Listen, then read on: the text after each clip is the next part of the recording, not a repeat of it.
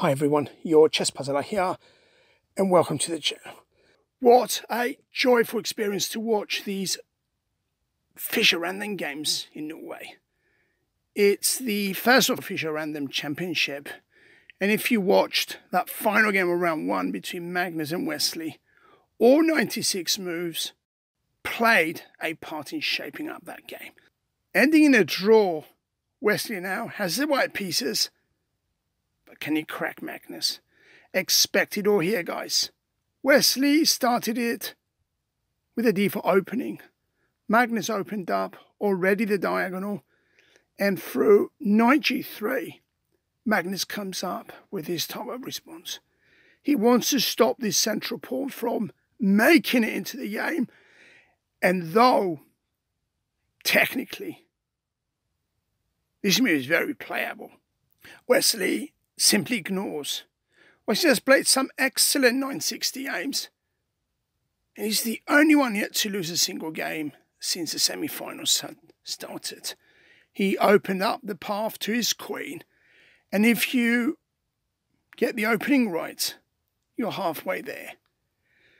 Fischer Random has never really caught up, but since everyone loves it, this will change. It is far more exciting than regular chess, but this comes with a twist. It's all about finding those positions that matter, and this is easier said. and this is easier said than done. E6, C4, and D5, and we'll begin to see many moves repeat from the previous encounter. E3 was also replicated, but let's see what and how much is going to change. After bishop e7 and knight c3, black knight number one was developed, and after bishop d3, doesn't seem to be anything concrete. With times as initial setup position reaches some degree of familiarity, these openings will also normalize. These Fischer Random games, like sailing into an open sea.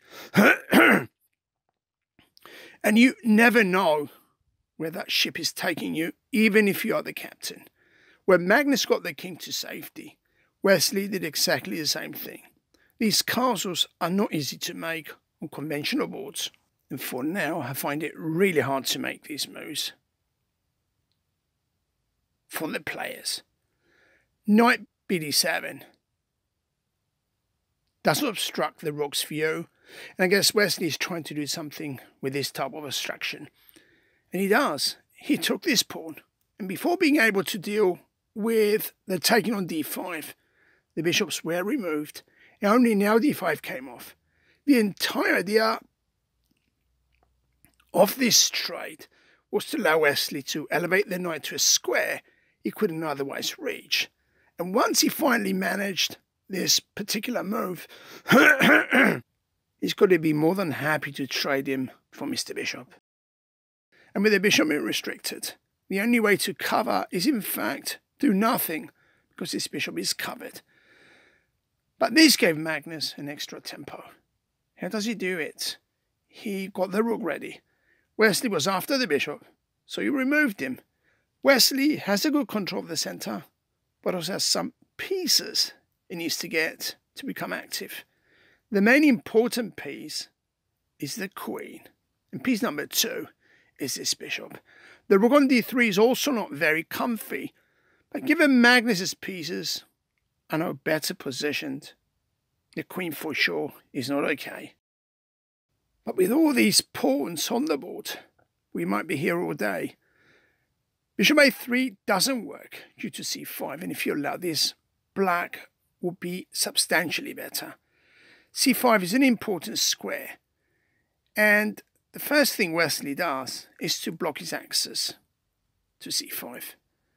There is another objective for this move. b4 also attacks the pawn on d5, but how difficult is it to cover? Both c6 and knight f6 are sufficient and this is how Magnus does it. And now came this guy advancing. Where is he going? nowhere.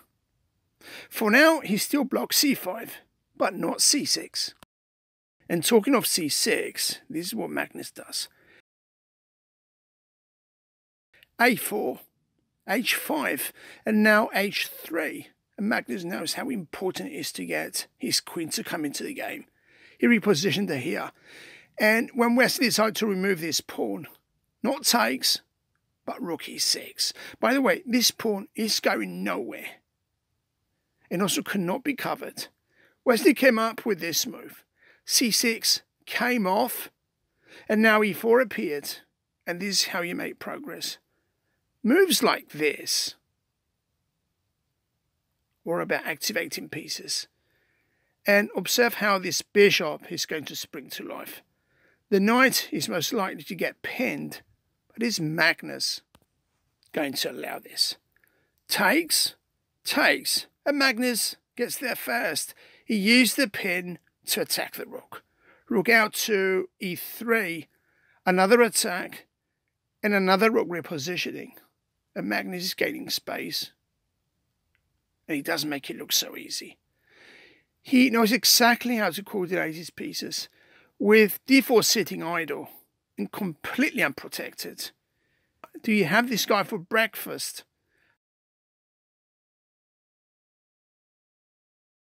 Magnus took him, and this guy now jumps to another level. When the knight was elevated here, this rook is now trapped. It appears this taken on d4 looks to be a mistake. The only move to save this rook is to eliminate this pawn. I don't think Magnus had any doubts as to what he needed to do. e4 does come off. Remove the knight from f6 when all these pieces come off, a straight queen e6 will appear, white's attack goes nowhere, and black is a full pawn up, and this is something Wesley was not going to have. So what he did was to go for a rather intriguing type of response. It looks crazy because he offered his bishop to be able to open up the position, just like Magnus did in his previous game of round one. Magnus sat on this for six minutes, and when he decided how to avoid the taking. He backed off the knight, but it was wartime already. G7 came off, and should you go on to remove this bishop, there is rook takes f7, and this game is over instantly. You simply cannot stop the mate unless you hand over your queen. So this was not an option for Magnus. Needless to say, this bishop was not eliminated, but instead it was Magnus's turn to turn on the heat. He delivered this fork. And when Wesley removed F7, do we have a game or do we have a game? We have seen many great games, and this one has to be added to the list. One thing both players are doing is to sacrifice left, right, and centre to gain that degree of superiority. When the rook came off.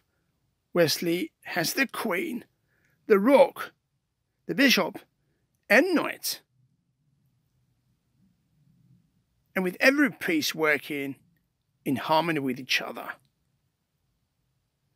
With probably the exception of the knight on d5, how can Wesley make an effective use of his pieces?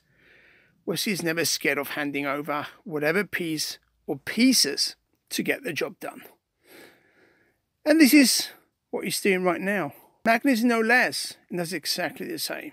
If you capture the knight with whatever piece, your attack on the king goes up in thin air. If you take with the queen, what do you think happens after rook c1? To keep the momentum of this game, Wesley moved in with a check. And when the king was forced to the rim, the bishop was immediately withdrawn. And without delay, here came in Mr. Rook. And how on earth do you deal with this threat? This check was the answer. Pushing the king forward, and now when this fork appeared, we know the queen drops, but also the queen on a1 drops. After king f7, Wesley was in no rush to remove the queen he sneaked in another check, only when the king moved forward. Wesley was looking for a way to continue with the checks so that he could save his own queen. Queen a2 is met by queen c4, and this is how he saved the queen. Once Wesley figured this one out, the queens did come off. And when the rook on a1 disappeared, who's better and who's not? The knight on f1 is in danger.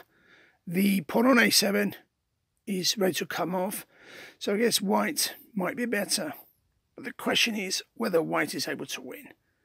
Knight out of danger, and rook takes. Got the knight to return to a more active square.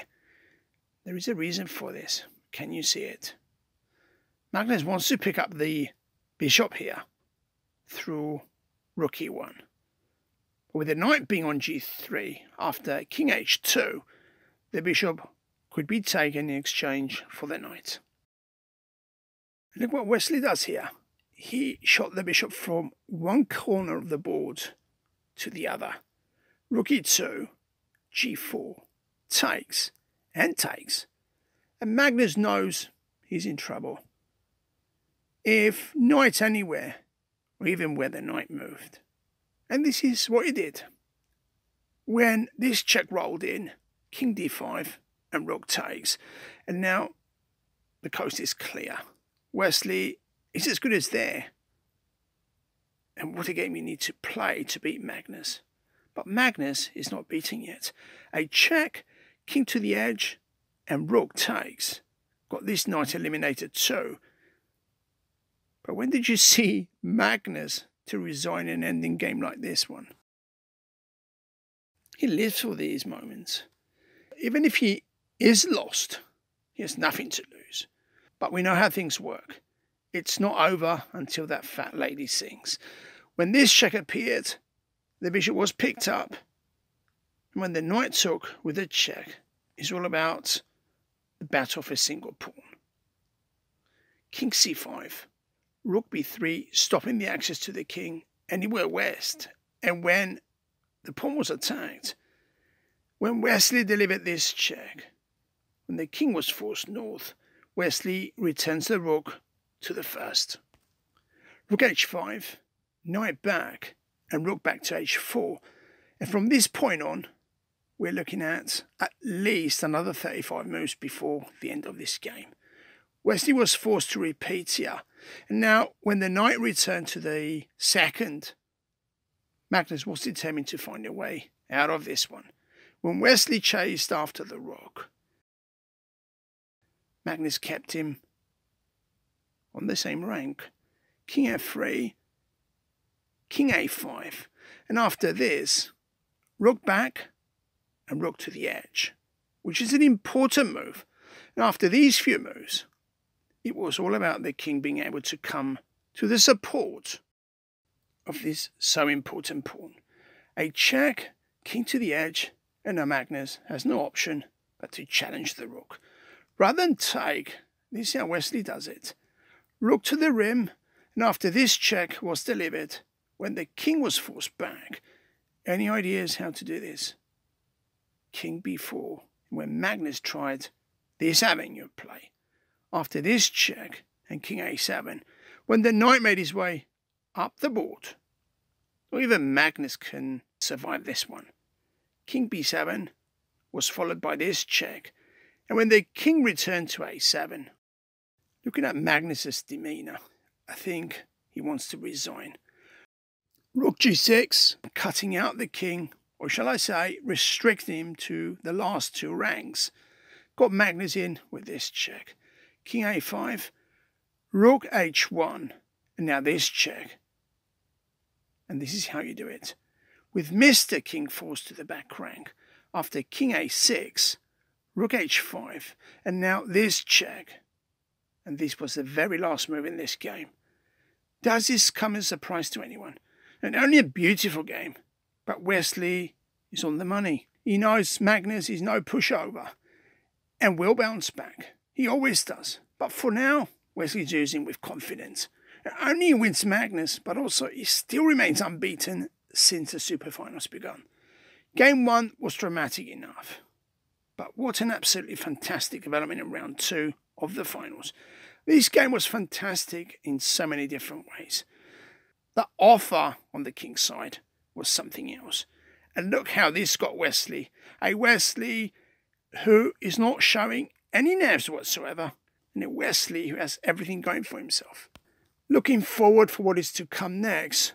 So until soon, everyone, this is your chess puzzler.